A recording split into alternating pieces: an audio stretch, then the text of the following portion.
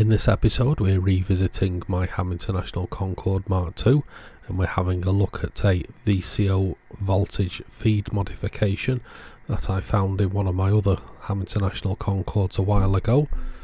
So I've managed to recreate it onto a circuit board and let's see if it works.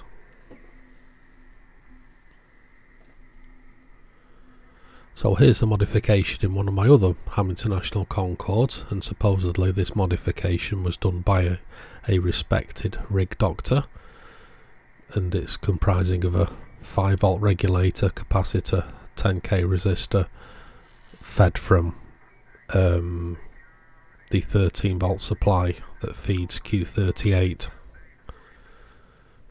now you eagle-eyed people there will notice it's had a 5kc modification done and it's very very neat. I'm actually don't really want to touch that due to it being so neat. But you can see there we've got a 78L05 regulator, a 10 mic capacitor, a resistor that's fed from the 13 supply. Now you don't have to feed it from the 13 supply, we can go to the other side of the AVR regulator and feed it off the 9 volts. So as you can see there is the 13 volts that feeds the regulator.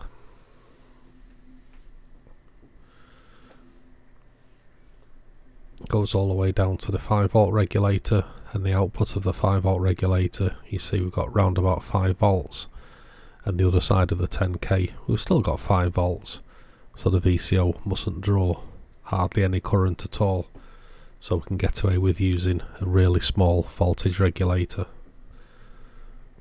So here's the board I had made, it's based on one of my VCO boards but we've added three extra components, a surface mount voltage regulator, a surface mount 10k and a 10 mic electrolytic capacitor just as that modification was on the back of the other Concorde.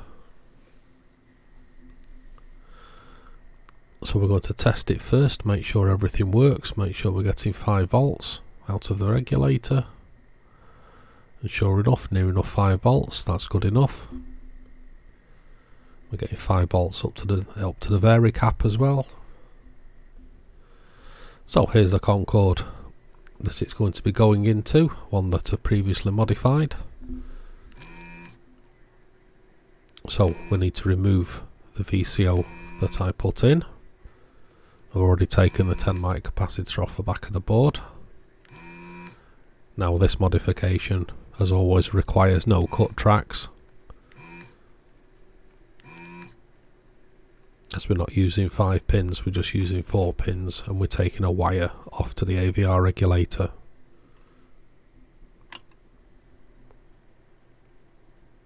So we'll take out my VCO that I put in that's been working well over the last few weeks. And there's our voltage feed VCO put in place. And we're going to tuck the wire into that wiring loom and drop it around the back of the board.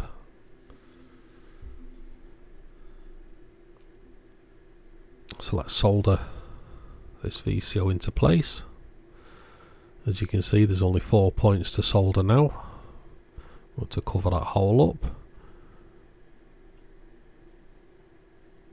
So the VCO should work exactly as the other one did, but we've got a stable 5 volt supply going to it, supposedly giving clearer SSB audio.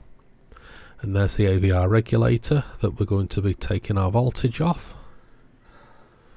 So one side of the AVR regulator we've got 13 volts.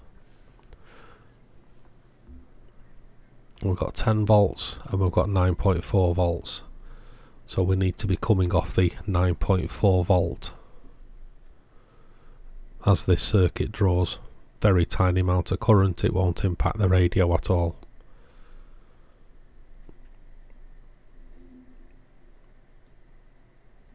So there's the feed wire in place.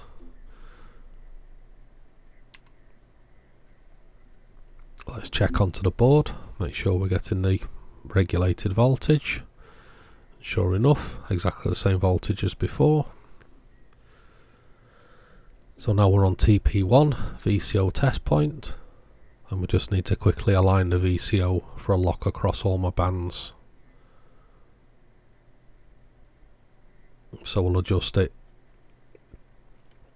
So we've got 4 volts on one end of the band and there's just interlock on the other end of the band.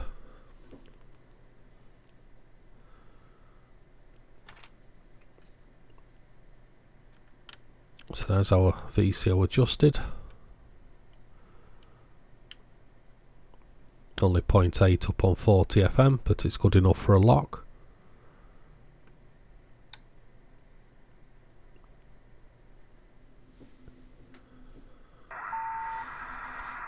Sure enough, the radio's working, receiving signals.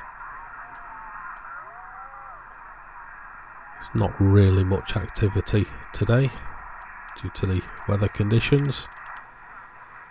So we'll just have to test this over the coming weeks and see how it performs.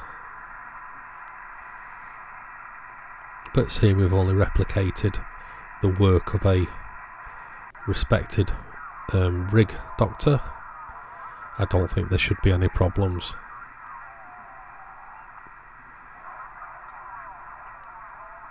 So there we have it, a um, VCO voltage feed point modification for the Ham Concorde using the 121 chassis.